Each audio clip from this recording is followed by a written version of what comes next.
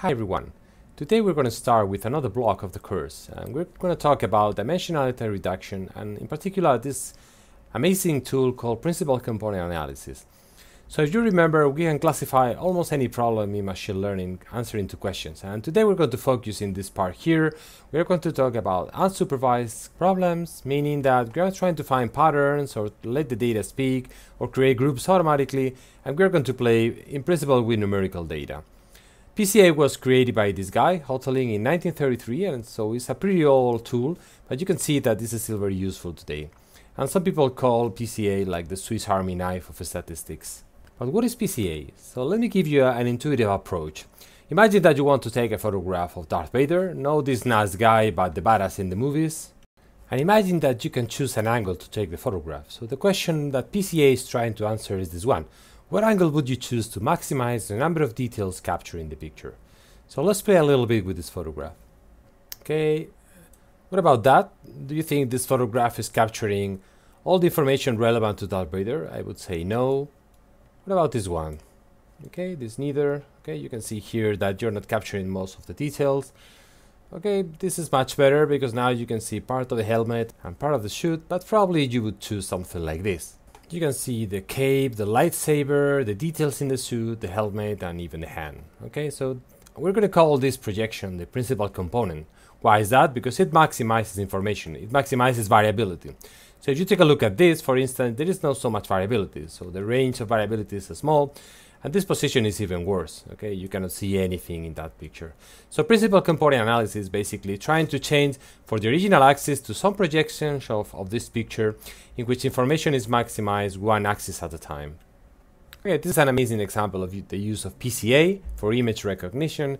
In this case, you have this picture. Pictures are also vectors of information, so are like data sets, in the sense that it, each of these pictures is going to be a column in a data set. And to build that column, basically, you have to to cover this image going in this direction and so on and so forth. And now you can define principal components and I'll tell you how to calculate those in the future. So this is the direction of maximum variability. What you can see here is essentially that a face is something with some dark parts in, in here and there, which are the eyes, the nose, and the mouth. The second component is basically capturing more details about the eyes, but also details about the hair.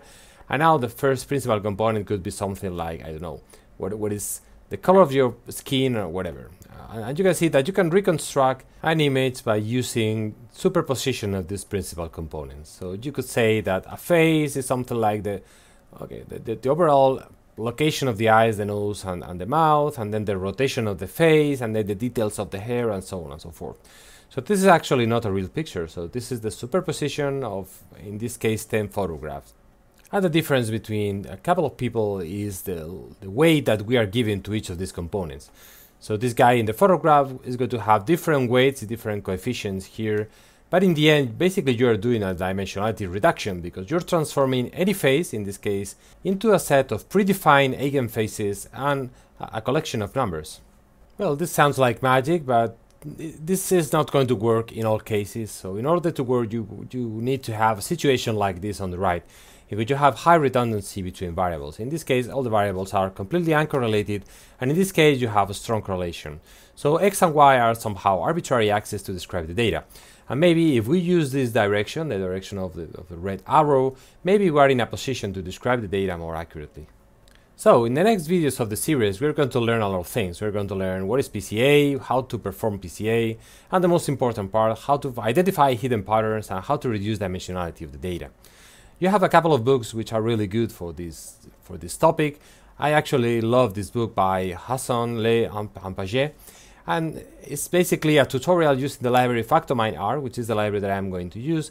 And there is a lot of examples there, a lot of intuitive explanations, and a lot of data sets included in the library. And there is also a Spanish edition of the book if you're interested.